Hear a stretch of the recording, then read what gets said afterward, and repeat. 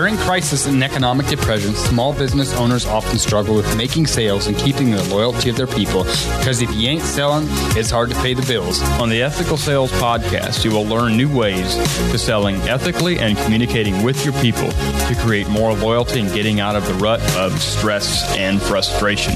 When there is plenty of sales, there should be plenty of profits to keep things flowing smoothly and everybody be happy, happy, happy.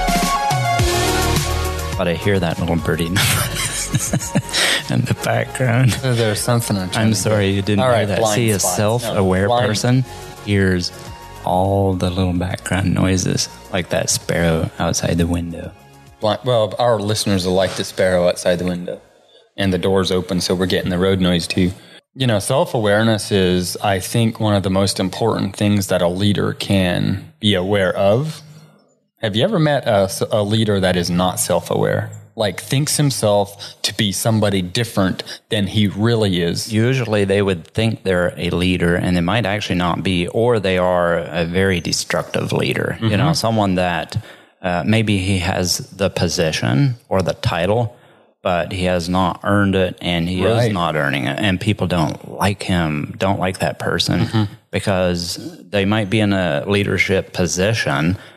But they're truly not leading, and so often, like you said, mm-hmm. so often it is because of lack of awareness, personal mm-hmm. awareness, being aware of their own life. It's a sad day when other people see you as a different person than you see yourself. Being vulnerable enough to invite feedback is really important for growth. If you don't invite feedback from the people that you're around, then that's not a safe environment for people to be around. And so your people are going to avoid you as much as possible. The sad thing is probably behind your back, those people are talking about your shortcomings anyways we may as well be super honest about those things, not only just to ourselves, but to our people, because we all have strong points and we all have weak points, and we all have blind spots in our lives that we can't really see. Coach Burt says you can't see the picture when you're inside the frame. Our spouses can be somebody out in our lives that can help us with those things if we allow them to, because there's nobody closer to us than our spouses. And so we see things in them and they see things in us that we can help each other with. But being vulnerable enough to accept that feedback, it doesn't always feel good, but it'll help us grow. It'll help us become more aware. So asking people, uh, that's one way to work on this. The other way, I think, would be to spend time listening to other leaders, listen to personal development books, audiobooks, podcasts, go to conferences, uh, spend some time with people that are really making a difference in the world. Sometimes that'll bring out some of our own areas we need to work on. That's being self aware. Probably two years ago, us brothers, there's uh, six, seven of us brothers, but there was five or six, I think five of us were traveling to a hunting show together for the day and we had a bunch of road time. And so we decided, you know, just for kicks and jiggles, every one of us, we had to say one thing that we feel like the other person could grow in, work on this, and you become a better person, a better leader, better father, better husband, a better person to be around. And then we also have to give a compliment. The rule was we could only say thank you for the feedback. We couldn't defend ourselves like, no, I'm not like that, right? Because us as men, we tend to do this. Like we tend to be very defensive about who we are.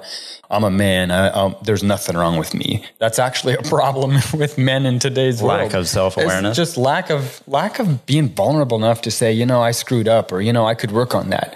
It was pretty interesting. Like we went through. I mean, it took us a couple hours on the road. Every one of us was like, okay, Elias, you know, and all six or five brothers, they all said, okay, Elias, this is something that you could work on, um, but this is something that you're really good at.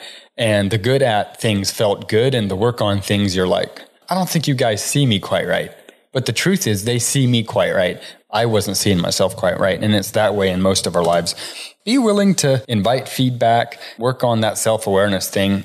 And the biggest thing I say in this thing is a sad day when you think you're a leader, but other people think and see you differently than you see yourself.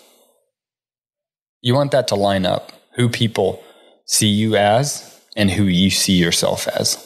If that doesn't really line up, then you're probably not a good leader. This ties right back into our other episode about building rapport and building trust, being likable. You know, it's really working on ourselves as leaders. So being self aware is a huge step in the right direction. Thank you for listening to this week's Ethical Sales Podcast.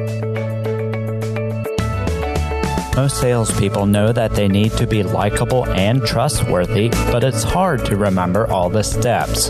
Sales Made Fast and Easy is a printable one page checklist that helps you quickly understand how your prospect wants to buy. So you can sell your product or service faster, easier, and so you get happier customers and more referrals. With this free checklist, we'll help you discover what motivates prospects to say yes and no how to use questions as an effective tool for sales domination, why being yourself will make it easier for others to trust in you so you can serve them, and so much more.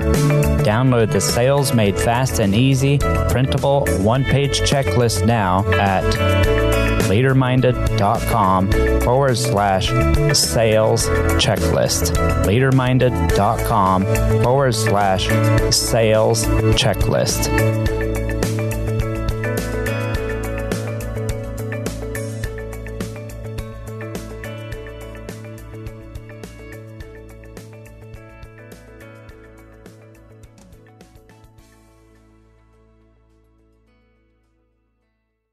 This episode was hosted by the Max Potential Podcast Network. Find more great shows at maxpotential.com.